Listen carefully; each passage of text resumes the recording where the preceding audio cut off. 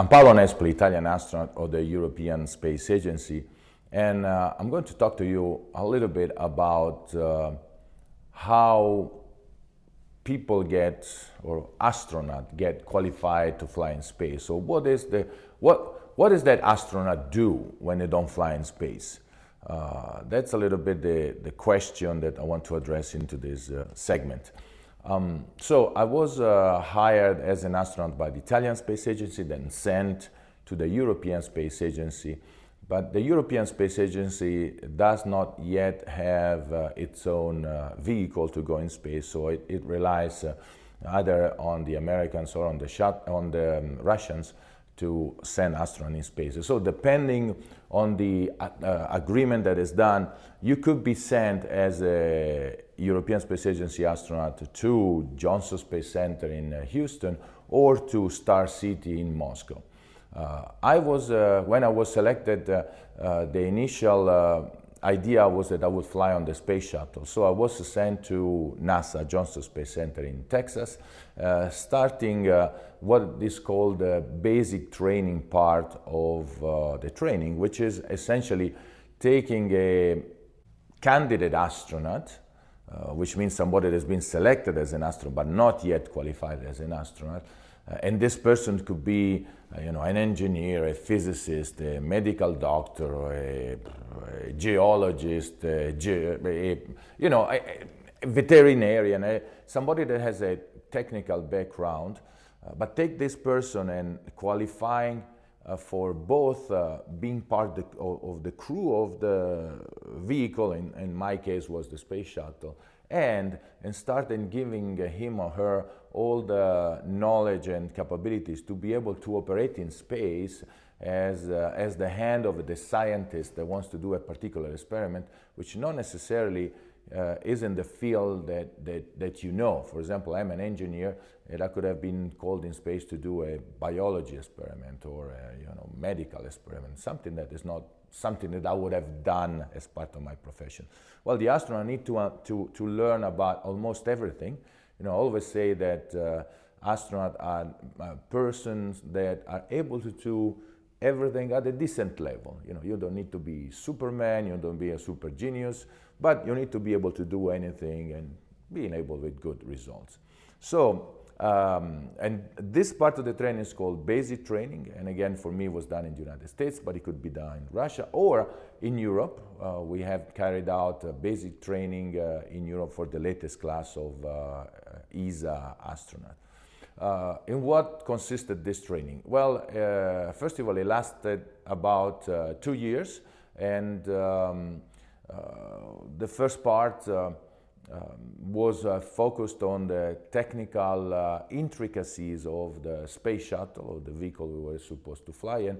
And you need to understand how the shuttle works.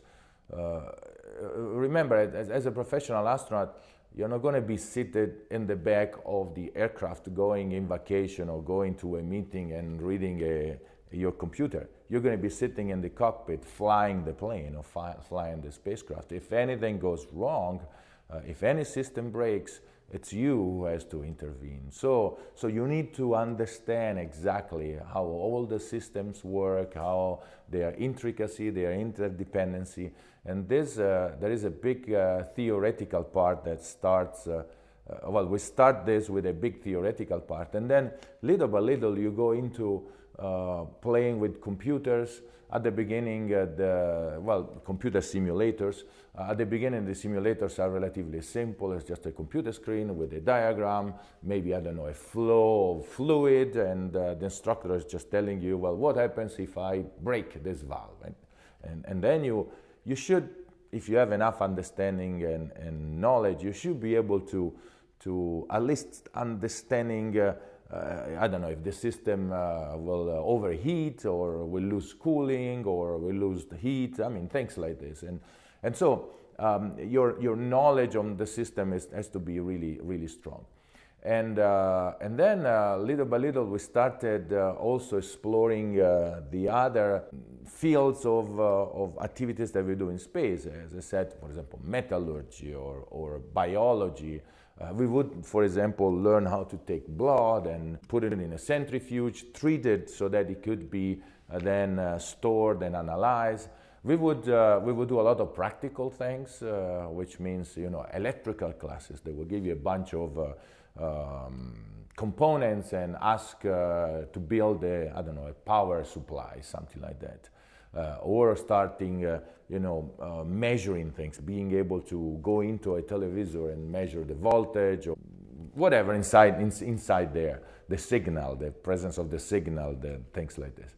We also had uh, some discussions, some uh, lectures. Some people came and talked to us. I still remember uh, almost in great details the discussion we had with Neil Armstrong uh, when he came and talked to us for a couple of hours, uh, what it meant for him uh, being part of uh, the X-15 program first and then uh, going on the moon on the Apollo program later. It was a really, really great uh, inspirational thing. And then, um, you know, we did, in between the lectures, we did several practical activities, some field trips, for, for example, geological field trips. So going around it was in Arizona. We went around for a week and looked uh, at all the various uh, uh, conformation of the soil and volcanoes and and so on. Uh, and then uh, started doing uh, some practical things that were part of our activity at NASA, but were also going into a little bit of the psychological part of it, pushing your boundaries see how comfortable you are if you're put in a kind of a uh, no normal situation. So we did uh, water survival uh, in Pensacola, Florida, uh, where they taught us how to, you know, land in water with a parachute, use the equipment that you have to, to kind of save yourself, not being cold, uh, call, uh, call the um, um, people that would come and pick you up, you know, things like this. And also we were put into the um, into the same situation but in a forest. So now survive for a week uh, in a forest. Uh, we did this uh, up north uh, in, uh, in, a forest uh, almost in Canada and at night it would get pretty cold. we did not have much to eat but we had to learn how to you know be be able to live, survive, but even do a little bit more in this kind of situation. And um, NASA also had uh, a, a, fleet of uh, trainer aircraft. Uh, these are supersonic uh, trainer aircraft. And uh, they used uh, normally the, this aircraft T-38 to train their shuttle pilots or shuttle commanders. And what would they would do? They would put us in the back seat, which has the, all the, co the controls as, as the front seat, so you can actually fly the plane.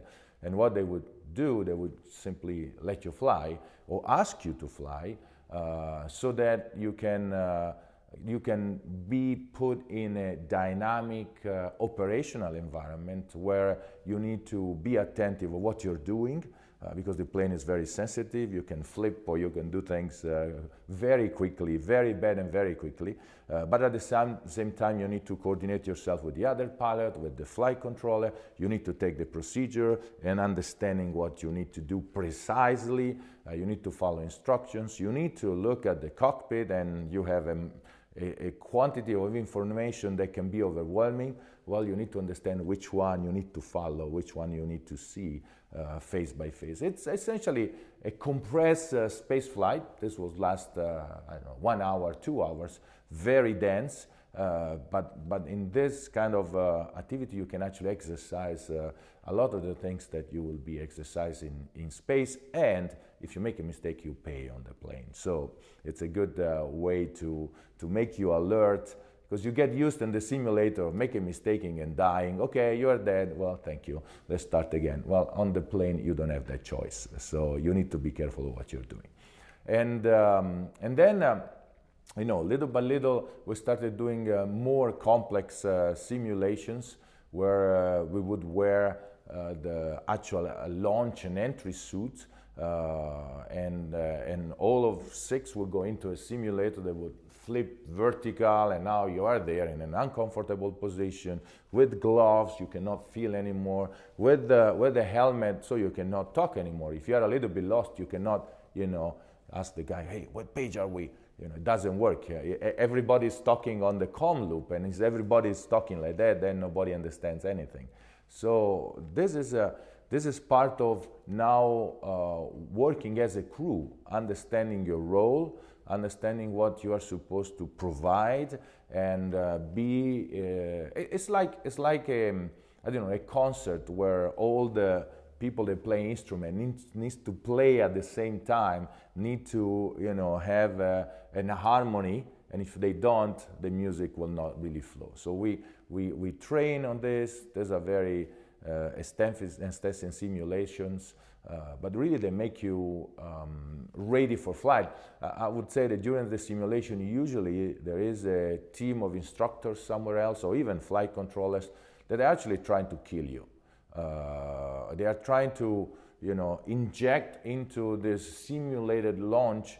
They are trying to inject uh, enough uh, malfunctions to to stumble the crew, so to, to make the crew work really, really hard uh, so that they understand what's going on and react properly. In fact, you get so so well trained that uh, uh, during a regular space flight, you know, not even one tenth of what happened in simulation is happening. So it, it looks like nothing is happening in, in, when you when you fly for real, because you are used at such a fast pace of things breaking, impossible thing happening happening one on top of the other. That is pretty amazing the way that you're really trained when you go to space.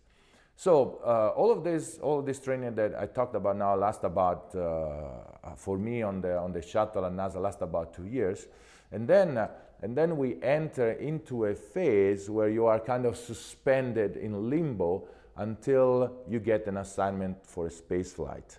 And this, this is like, uh, uh, this phase is called something advanced training or pre-assignment training, where you maintain what you have learned in basic training, you acquire new qualifications, and, uh, and you wait for your space flight. This can last uh, nothing for some people and very long time for some other people. Uh, in fact, for me, it lasted almost six years.